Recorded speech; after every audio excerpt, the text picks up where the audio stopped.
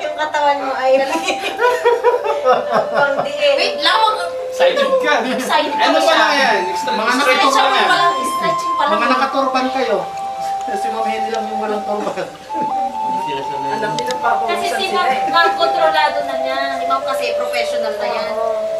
Lagyan mo ng ano. Tatanggalin ko lang, huwag kang magreklamo. Lagyan mo ng labi. Ito yan. Oo. Nagluto tayo. Baboy pa And, yan. and TLC daw, friendship.